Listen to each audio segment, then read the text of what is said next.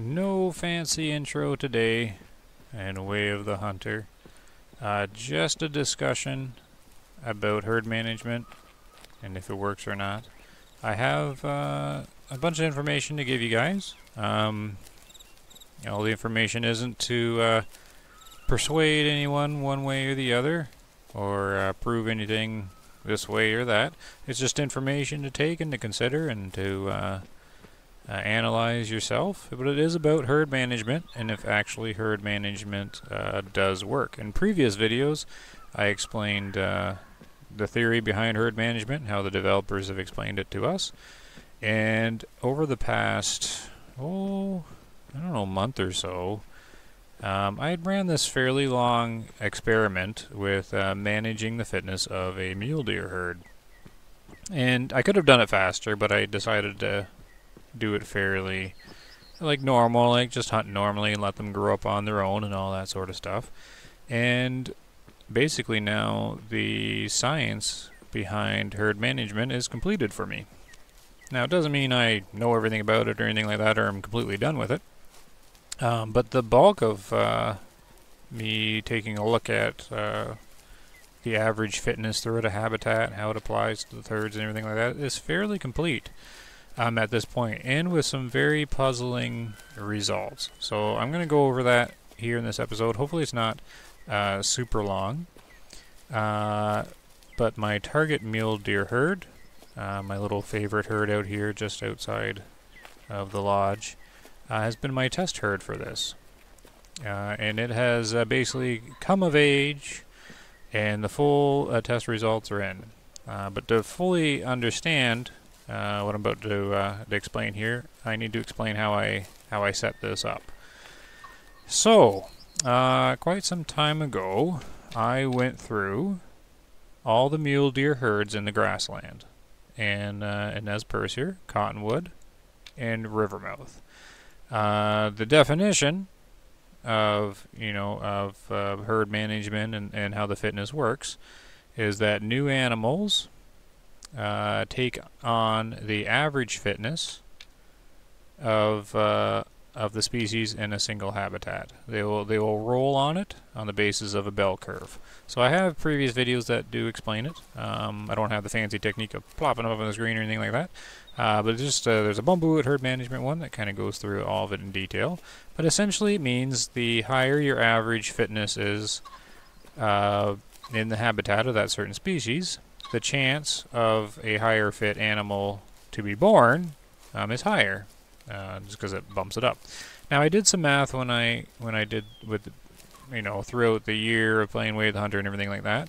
Now this is just estimation and everything like that, but the numbers are probably going to be about about right or close to it anyways. Uh, take a primary habitat for example. Uh, by my best guess, if you didn't touch anything in the game and just let the animals live and you know frolic along like normal, and just you know uh, die of old age and be born and all that, uh, the average fitness looks like it's sitting at 55%. So the bell curve sits at 55. Most of them will sit at 55. Some will be at 50. Some will be at 60. You know, some are 45. Some are 65. But the bulk are all along there. Some stretch to 70. Some will dip down into the 30s. Right? That's that's pretty much where it sits. But the bulk is in between. Um, you know, that 50 and 60% sort of mark, or just a little bit on either side. Now that is if you just kind of left the left the herds alone to do their thing you can improve the the the fitness and the of the entire habitat by removing the low fit animals, and that should make the new ones that are born have a higher chance of rolling the high fitness. So I went through and cleared out the low fit animals, so anything below 50% of mule deer uh, up in Cottonwood and Rivermouth.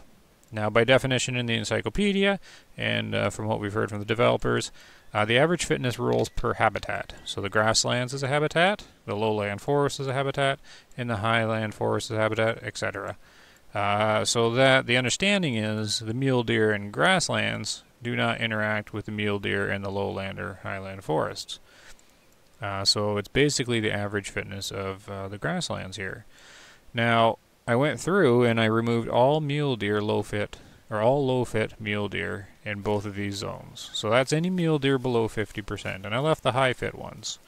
Uh, before I did that, I I took this uh, mule deer herd that's up here, and I removed all the bucks from it. Uh, so all the male mule deer um, I harvested, and basically um, I did that at the start of a year, and then throughout the remainder of the year, I removed all the other low-fit animals. So the theory was, uh, if you remove all the low-fit animals in a single year, the bell curve will shift up.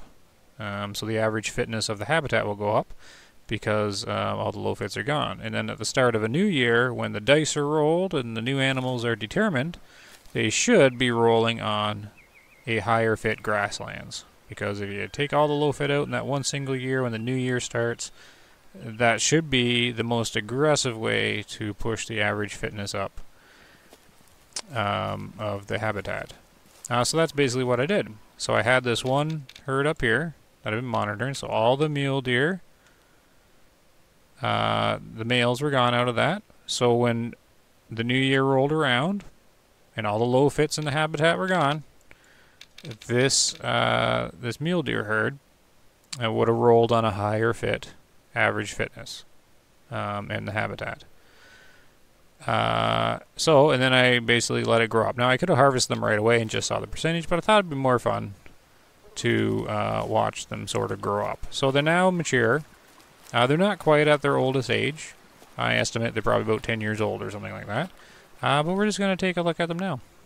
Now, keep in mind, by my estimations and best calculations I can get, really, uh, the average fitness when these guys were born uh, should have been a good 10% higher at least, than uh, than it was before. So instead of a 55% average fitness, they should have been born at a 65% mark.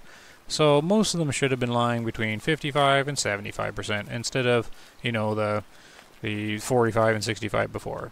Uh, so I sh should have seen them, and I was hoping now that I'd be getting some 80%, you know, some 85%, kind of things like that. Like uh, making sure that I didn't get any low fits at all, really. Because if the average is 65, uh, the you know, it's low odds that it's going to fall below 50%. So that was the test. And uh, just bear in mind that's my rough calculations on, on how that should have worked. So they should actually be right up here. Yes, there they are there now. I gotta make sure Yes, this is them. I had to play around a little bit here uh, during a live stream with them, so we're to scan them here. Now, that's basically the information is what I did, and that's how the understanding of the game pretty much works.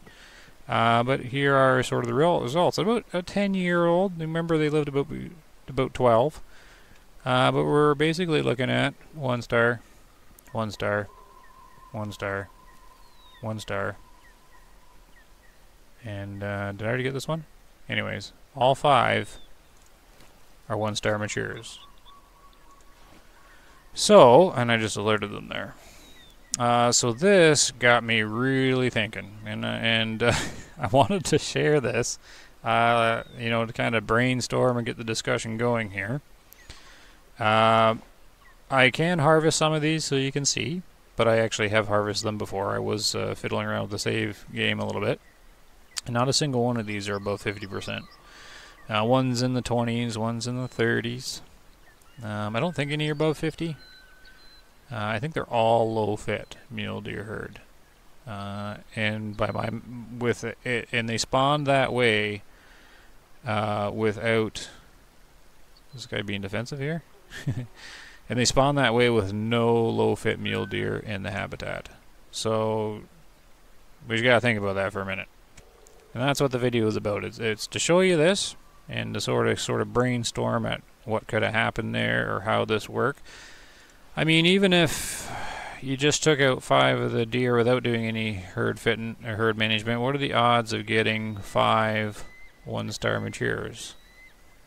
So part of me thought maybe I broke the game when I did this. Um, because surely one of them should have rolled higher than 50% or something. Uh, now, in the next couple years, because I think they're 10, 11 or 12. Two of them go two stars. I mean, I think they're like a 40%, 45% or something. I'm not sure I'm going to harvest them in the video. Maybe I'll take a couple. I don't know. But yeah, sort of take my word for it, I guess. Um, but maybe we'll we'll take down a couple of them. Uh, but I wonder maybe I broke the game. But I don't think I did. So this is completely throwing my understanding of herd management kind of out the window here. And I've got a few theories. Uh, one of them is that the herd fitness plays a much stronger role than we have been able to figure out or calculate. Because the herd fitness here didn't have any males in it at all. Right? So does that just set the does that skew the average fitness from the habitat down? I don't I don't quite know. It looks like it did something. Possibly uh, that could have been a reason. So the specific uh, fitness of the herd um, could have been a factor. So that's something that we've never been able to really figure out or see. Um, is apparently there's habitat fitness and then there's the herd fitness. Uh, so maybe this is what happens when you remove all the males from from a herd. Uh, maybe it um, somehow negatively affects the the average uh, of the habitat on it. Like maybe it's bringing it down. I'm not really sure. That's one theory. Another theory is maybe there weren't enough uh, mule deer bucks in the habitat to run the calculation correctly, since I had removed a bunch of them. And then there's the theory um, that uh, doing the herd management the way I was doing it there uh, had no impact at all, and the way the game calculates the herd fitness isn't actually that. However, that's sort of how it's been explained to us, so not too sure on that. Uh, uh, we have been it has been confirmed that it's a bell curve and that you can shift the bell the bell curve um, with the average fitness. Uh, the other theory, of course, is the herd fitness, average fitness stuff just isn't working, uh, which is a theory here. Another one is that maybe it isn't habitat wide. Maybe it is taking the average fitness of highlands and lowlands, all mule deer across the map. Um, at this point, I am not sure. Uh, so I'm making the video just to throw it out there, uh, so you can take a look at uh, at this and you know take take the information in your own game, kind of ponder this. Uh, but that's essentially what I did. I uh, removed all the low-fit uh, mule deer in one year, and then uh, these guys spawned in the year after that, where the average fitness should have been higher, and uh, they are all low. They're all low-fit animals. Uh, oh, I didn't switch my gun out, so all I got is a 30-30. Um, yeah, I don't... I mean, we'll take one with a 30-30. But it's yeah, at this point it doesn't matter. It's uh, I've already I've already taken them all. So there, we'll, we'll grab this guy. Maybe uh, track him down. Yeah, he's going down over here. And we'll just see what his fitness is. But yeah, I've already I've already kind of looked at them all. So I'm trying to think of uh, other theories as to how that happens, or how did I get five one-star matures all all in one roll. I mean, even even at the average fitness, I mean, it's like they rolled on an average fitness bell curve down in the 40%. So how did removing all the low fits make the average and the habitat down in the 40s? Because, uh, yeah, there's a 20 in here, there's a 30% in here, and I think there's a couple 40%, or it all, it's like the average is a 40%. Or did I just get a really bad roll? Uh, I don't know. I just don't know. I'm, I'm thinking maybe the herd fitness plays a much bigger role than we think. Uh, needless to say, the the outcome to this experiment for me is um, I probably won't be doing uh, herd management in the game. Mainly because it's too unreliable. I mean, most people will do herd manage like I do, like normally. You, you walk around, you remove the low fit ones, uh, and then slowly improve uh, the fitness of a habitat over time. But the problem with doing it casually and slow like that is you only take probably a couple, two or three you know, think of these grasslands for a reason, like for, for an example. I mean, when you're passing through, you'll take, you know, each year you'll take two or three low fit mule deers. There's probably like 50 mule buck in the entire grasslands. And taking two or three of them in a year is not going to do much to shift the bell curve at all. It'll move it up 1 or 2%. Uh, and I mean, if you keep doing it year after year after year, maybe. But the math says that that progress would be really, really slow if you progressed at all. Uh, like doing a slow a slow herd fitness like that. Uh, so I, would already come to that conclusion that if you're slowly managing the uh, the herd fitness of the habitat, um, that it doesn't really have much of effect because um, all my five stars and stuff have come without any kind of extensive herd management. So I got thinking, and I'm like, I wonder, I wonder if, uh, yeah, 18%. This was on a, a calculated 65% average fitness of the of the habitat. All low fit mule deers were gone when this guy was born. Okay, like broke the game. Anyways, what was I saying? Uh, yeah, I lost my uh, train of thought there. That 18% was just so shocking. I mean, I think I've seen him before, of course, because I took them all down. But anyways, uh, yeah. So Oh yeah, I was saying before there, I, like the slow way wasn't working. I didn't, I didn't think it was doing anything at all. Um, really, I mean, some people will say it does. It's really hard to prove if it is or not. I mean, I don't do a whole lot of herd fitness uh, management at all for most species, and I still get trophies and things like that. So it can easily seem like maybe it's working. I don't think it was. So that's what the experiment was about. Um, I was going to push the herd fitness as hard as I could within a single year to make make it work, and it backfired. That is a horrible herd. Somehow, removing all the low fit mule deers in this habitat made that an extremely low fit herd, and I don't understand how.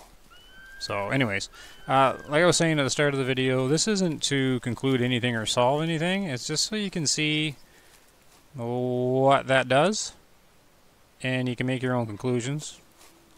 Uh, but as I was saying uh, before, uh, with me, I don't think I'll be doing herd fitness anymore. Um, I've been doing, you know, looking at it and paying attention to it for good, you know, over a year since the game came out. Um, it's an interesting concept to the game. I don't know if it's working as intended. I'm sure I'm missing something, which the assumption is that herd fitness really plays a big part. But man, what a big part does that play? Uh, but it's also if it's if the herd management is so complex that we can't quite figure it out, even in you know even focusing on it. I mean, it's not really practical for the average player to use because uh, I don't think the slow the slow management does it, and being aggressive on it certainly doesn't seem to uh, have worked. Uh, so I'm not really too sad about it or anything like that. I'm just like, oh, well, that's interesting. Uh, maybe I can stop focusing on it now, and I can go back to doing some ranger hunting, which I'm kind of looking forward to do. And, uh, yeah, so I wanted to make a bit of a video, uh, just to throw that out there, because that was extremely surprising to me, that the herd fitness uh, didn't really, didn't really go up. Uh, so let me know what you think of that. I know it's kind of uh, just a rant little video with not much hunting to it. Well, it's not really ranting. It's just, uh, hey guys, look at that. Oh, look what look what happened to that experiment. Uh, so that's what happened. I'm not really too sure I should continue uh, rambling on. About 20 minutes of me rambling there. Um, but I really want to put that out there and see what people think. Uh, I'm just trying to think, think of what happened there. Broke the game or the herd management, like the specific herd fitness, overrided something, or there wasn't enough animals to calculate on, or it's calculating outside of the grassland area. Man, it's so weird though. I had all the low fits removed in the whole area, and they and I roll an 18 and a 20 and a 30 percent and like a 40 percent. It's it's kind of blowing my mind a little bit. That's why I had to make the video. I'm just like, what? but uh, I'm I'm okay with it because um, you know I'm kind of looking forward to ignoring the herd management stuff, just kind of going back to just sort of hunting.